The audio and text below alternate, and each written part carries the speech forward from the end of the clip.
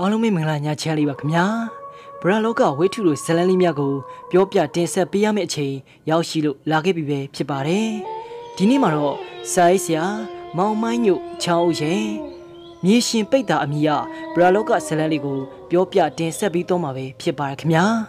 ဟုတ်ကဲ့ဇလန်လေးရဲ့နာမည်ကတော့မြေရှင်ပိတ်တာဟုတ်ကဲ့ဇလန်လေးကိုစာပြီးပြောရမယ်ဆိုရင်တော့ပိတ်တာဆိုတာချမ်းသာခြင်းအားလုံးကနေ ကင်းဝေးတဲ့တက်တဝါတစ်မျိုးပါသူတို့မှာဘုံဌာနတီးကြမရှိဘူးပိတ်တာတို့နေထိုင်တဲ့တောတောင်မြစ်ချောင်းတုတ်တန်စားတဲ့အရက်ကိုပဲပိတ်တာဘုံလို့ခေါ်ကြပါတယ်ပိတ်တာ12မျိုးရှိတယ်လို့ကျမ်းတွေမှာဖော်ပြထားပါတယ်အဲ့ဒီပိတ်တာတွေကတော့ငက်ပြက်စာလောင်မွတ်သိန်းလုံးလို့သူတပားတွေရဲ့ချွေတလိတ်တထွေအမ်ဘက်နဲ့တကူကောက်ယူစားတော့ရတဲ့ပိတ်တာလူ ခွေမွေစတဲ့အကောင်ပုတ်တွေကိုပဲစားရတဲ့ပိတ်တာမစင်ဘင်ပုတ်တွေပဲစားတော့ရတဲ့ပိတ်တာဂရင်းကမီးနီယန်တွေထက်ပြီးစီကြီးမီးခဲတွေပဲစားရတဲ့ပိတ်တာကိုလုံးကြီးကြီးလေပင်ရှိရှိပြီးမဲ့ဗစက်ကအန်နဘာပေါက်လောက်ပဲရှိရဲ့အတွက်ရတဲ့အစာကိုနားပေါက်နှာခေါင်းပေါက်တွေကတွတ်သွင်းစားတော့ရတဲ့ပိတ်တာအမြင်နဲ့ရေအလွန်ငက်တာကိုပဲခံစားနေရတဲ့ပိတ်တာမီးလောင်ငုံနဲ့ထူတဲ့ခန္ဓာကိုယ် ဆိုရတဲ့ရုပ်အစင်းနဲ့ညီနေပုံနဲ့ထွက်နေတဲ့ပိတ်တာဒါကြောင့်တစီတရေတွေချောက်ရင်ကြောက်လန့်စရာရုပ်အင်္ဂါကိုတွေ့ရမြင်ရတာဖြစ်ပါတယ်သူ့ရဲ့လက်သေးကြီးတွေကဓာသွားလို့ငားများချိတ်လို့ပုံတရံရှိတယ်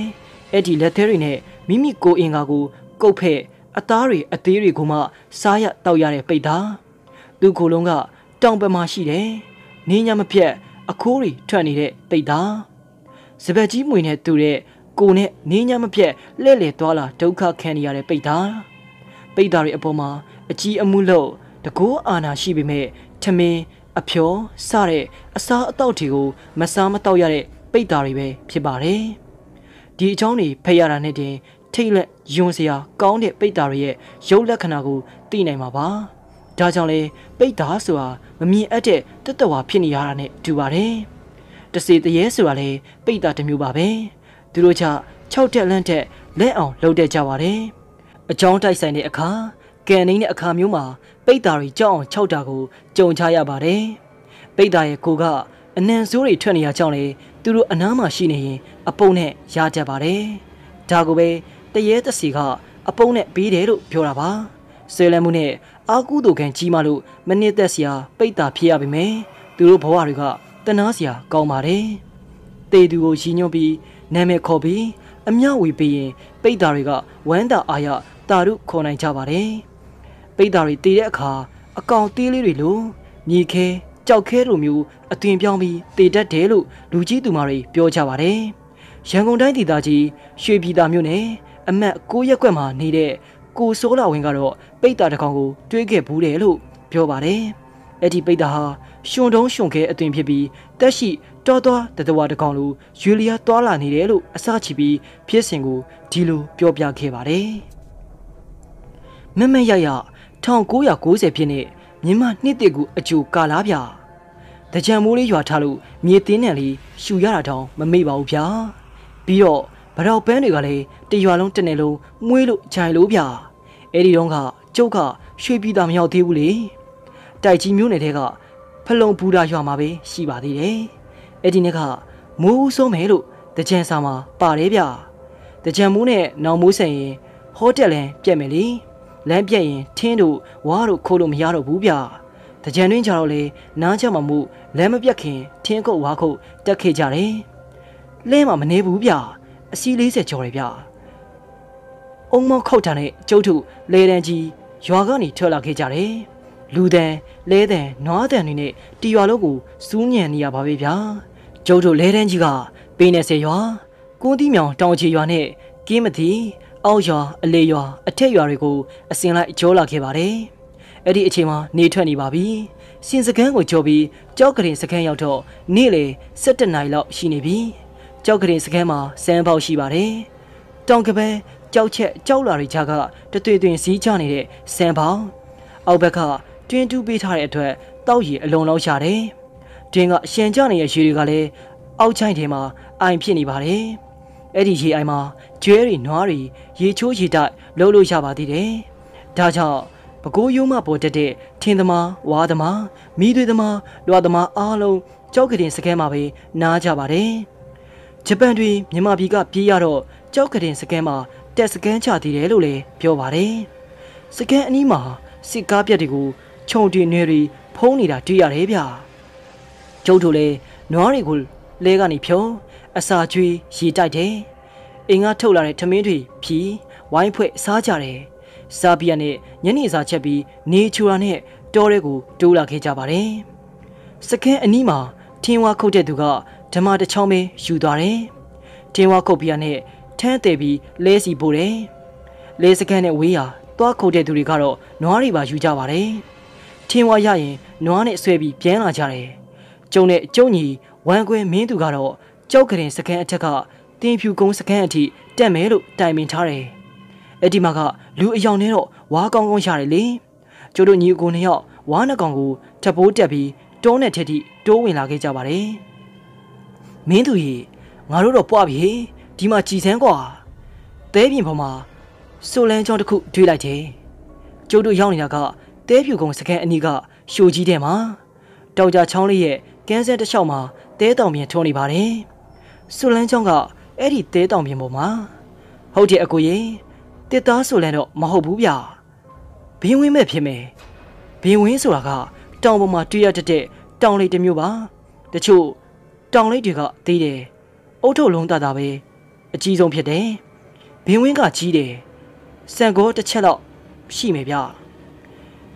တောင်လေးတွေထဲမှာအကြီးဆုံးပါပဲ။ကျုပ်တို့ညီကိုနှစ်ယောက်လဲတဲတောင်ပြင်ပေါ်ကစွန်လဲအတိုင်းလိုက်ကြတာပေါ့အလွယ်တကူနဲ့တွေ့မယ်ထင်ပေမဲ့စွန်လဲကတော်တော်ကိုသွားတာပြိုမိုင်ဝဲလောက်ကိုလိုက်ရတယ်အဲ့ဒီတော့မှတွေ့တယ်တွေ့မယ်တွေ့တော့လေအန်အိုးဆရာကြီးဗျာဘင်းဝင်လိတ်လည်းမဟုတ်ဘူးရှင်လုံးတုံးဖြစ်နေတယ်လေစကောလောက်ရှိရဲ့ဗျာကျုပ်တို့ညီကိုနှစ်ယောက်စလုံးဒီလိုတခါမှမကြုံဘူးလက်အောင်လန့်သွားတယ်တောချုပ်တာလာလို့ပေါ့ဗျာ ဒါပေမဲ့စွန်လဲအစုံးမှာတွေ့ရတာကလေတေးချတယ်ရှင်တုံးကြီးပဲထူးဆန်းတာတော့အမှန်ပဲအကုန်ဒါမျိုးတစ်ခါမှမတွေ့ဘူးဗျပြင်ရင်ဒါကြီးတည်သွားရအောင်လေမင်းသူပြောရနဲ့ကျုပ်တို့တဲဖို့အဆုံးဖြတ်လိုက်တယ်ဝါးတွေကလည်းပေါ်တော့ခဏပဲခုတ်ရတယ်ဝါးတွေကိုနှဖားပေါက်တယ်တန်ကြိုးနဲ့ချီပြီးနွားနှကောင်ထင်းလာတဲ့ထဘိုးတုံးမှာတန်ကြိုးတွဲလိုက်တယ်ပြီးရနဲ့နွားမောင်းပြီးကြောက်ကတင်စကန်ကိုပြန်ခဲ့ကြတယ်ထူးဆန်းတဲ့ ရှုံးမြေထုံးကိုတော့ကျုပ်တို့နှစ်ယောက်တလဲစီထမ်းလာရတာပေါ့ဗျာကြောက်ကတင်စကန်လေးရောက်ရောလူတွေအားလုံးကျုပ်တို့စီဝိုင်းလာကြတာပဲကျုပ်ကလည်းရှုံးမြေထုံးကြီးတွေးရတဲ့ဖြစ်စဉ်ကိုတလုံးမကြံပြောပြတယ်လူတွေလည်းတအံတအောနဲ့ကျုပ်တို့ယူလာတဲ့ရှုံးမြေထုံးကြီးကိုကြည်သူကကြည်တုတ်တိသူကတုတ်တိနဲ့အံ့ဩနေကြပါတယ်အချို့ကလည်းကျုပ်စကားကိုယုံရကောင်းလို့မယုံရကောင်းလို့နဲ့မျက်နှာတွေကဇဝေဇဝါဖြစ်နေတယ်အဲ့ဒီအချိန်မှာပဲ လူအုပ်ကြားတဲ့ကိုအဘတက်ရှိတိုးဝင်လာတယ်အဘတက်ရှိကကျုပ်တို့ယူလာတဲ့ရှုံးမြေထုံးကိုဓာဦးနဲ့ဖိပြီးသုံးမြောင်းပုံအတုံးတုံးလှိယူလိုက်တယ်ဟုတ်တယ်ကွာဒါမြေရှင်အစ်စ်ပဲတွေ့လားဒီမှာအကျော်ကြီးဖျားနေတာဓာတ်နဲ့လီးထားတဲ့ရှုံးမြေထုံးရဲ့မျက်နှာပြင်မှာဝါမြင့်တွေဖျားထွက်နေတယ်လို့အဖြူရောင်အကျော်မြင့်တွေဖျားနေပါတယ်မင်းတို့ဘလို့တွေ့ရလဲဟေးဆိုးလာဝင်အဘသက်ရှိကမေးလို့ရှိုထဲမှာဆိုလန်းချောင်းတွေ့လို့ဘ င်းဝင်းမှတ်ပြီးလိုက်တာအဘဆိုလန်းအစုံမှာဒီရှင်တုံးကိုတွေ့ရပဲဒူးဆန်လို့ဒီတိသေးလာတာအဖကျုပ်ပြန်ပြည်တယ်အဘသက်ရှိကထက်ပြောတယ်အေးမင်းတို့ကန်ချုံတို့တွေ့ရတာကွဒါကပိတ်တာတစ်မျိုးပဲရှင်တုံးနဲ့ထူပေမဲ့ကွဲပြားမှုတွေရှိတယ်ကွအဖြူရောင်အကျော်မြင်တွေဖျားနေတာရဲ့ယူလီယာသွားလာနိုင်တာရေကသူ့ရဲ့ထူးခြားချက်တွေပေါ့မြေကန်ခင်ရတာတို့မြေဖို့ဘလူးဖဲစာခင်ရတာတွေဆိုသူကတိတ်ကောင်းတယ် မြေရှင်ကိုတန်မြာရင်နဲ့ရောဆက်ပြီးစုံနေဖောက်ရင်အဲ့ဒီဝေဒနာပျောက်တယ်ကွယ်အရေးကြုံရင်သုံးလို့ရအောင်နင်းနေစီယူပြီးတိန်ထားကြဟေအဘတက်ရှိရဲ့ပြောစကားကြောင့်မြေရှင်ပိတ်တာခေါ်ရှုံးမြေတုံးကိုကျုပ်တို့တွေခွဲယူလိုက်ကြပါတယ်အိမ်လင်းရောက်ရောကျုပ်ယူလာတဲ့မြေရှင်အပိုင်းလေးကိုခြောက်သွားမှဆိုလို့အိုးသေးလေးတစ်လုံးထဲကိုရေစိမ်ထားတယ်ကျုပ်တို့တီရွာလုံးမှာလေယူလီယာသွားလာနေတဲ့မြေရှင်ပိတ်တာအချောင်းက အတူအဆန်ပြောစရာတခုဖြစ်သွားတယ်ဗျ။อืมဒါပေမဲ့နောက်၃၄ရက်လောက်ကြာတော့ကြောက်စရာကြီးပြိုလူသေးကောင်ပုံးနေမှတကက်လူသေးကောင်ပုံးနေကြီးထွက်လာတယ်ဗျာ။ဘယ်ကနေလာလဲလို့လိုက်ရှာတော့ရေစိန်ထားတဲ့မြေရှင်အပိုင်းစစီကဖြစ်နေတာတွေ့ရတယ်ကျုပ်လည်းကြောက်ကြောက်လန့်လန့်နဲ့ရွာပြင်ထွက်ပြီးမြေမြုပ်ပြစ်လိုက်တယ်ဖြို့ကိုစိုးလာဝင်ပြောပြတဲ့မြေရှင်ပိတ်တာအချောင်းကတော့ဒီမှာပဲအဆုံးသတ်ခဲ့ပါတယ်သူပြောပြတဲ့ တစ်ဖြူတုံစကန်နဲ့ရှူဟာအခုတီဆောက်ထားတဲ့တဘူးလားစင်နဲ့ပေါင်းလဲဆယ်အချားမှာတည်ရှိတယ်လို့သိရပါတယ်လွန်ခဲ့တဲ့နှစ်တော်တော်ကြာကနိုင်ငံခြားတိုင်းပြည်တစ်ပြည်မှာရွေလီရနေတဲ့တောင်ကုန်းတကုန်းအချောင်းဖတ်ခဲ့ပူပါတယ်တရက်မှာလမ်းမအနှဲငယ်စီရွေ့နေလို့လမ်းကြောင်းမလွတ်တဲ့အိမ်တွေတောင်ရွှေ့ပေးရတယ်လို့သတင်းမှာဖော်ပြထားပါတယ်ကိုယ်တိုင်ကိုယ်ကျမမြင်မတွေ့ရတာနဲ့မဖြစ်နိုင်မယုံနိုင်လို့ပြောလို့မရပါဘူးဒီစက်ကြဝဠာ ဒီကဘာမှာတော့မဟုတ်ဘူးကျုပ်တို့ရဲ့ပတ်ဝန်းကျင်တီးတီးလေးမှာတော့ဖြစ်လေဖြစ်ထမရှိတဲ့စမ်းကျင်မှုတွေထူးထူးခြားခြားဖြစ်ပျက်တိုက်ဆိုင်မှုတွေကိုမကြာခဏဆိုသလိုကြုံခဲ့ရကြားခဲ့ရတယ်မဟုတ်ပါလားဆက်ပြီးတော့ဒီတက်မကစမ်းပြားထူးခြားတာတွေကိုမြင်ရတွေ့ရအောင်မှာကမလွဲဤကံပဲဖြစ်ပါတယ်ခင်ဗျာဟုတ်ကဲ့ပါခင်ဗျာဇလန်လေးကတော့ဒီလောက်ပါပဲနားဆင်ပေးကြပရိသတ်များအားလုံးကိုလည်းအထူးကျေးဇူးတင်ရှိပါခင်ဗျာ ကျွန်တော်ရဲ့အစီအစဉ်လေးတွေကိုကြားနေတတ်တဲ့ဆိုရင် like and subscribe လုပ်ခဲ့ပြီးဖို့လည်းမမေ့ပါနဲ့ဦးခင်ဗျာ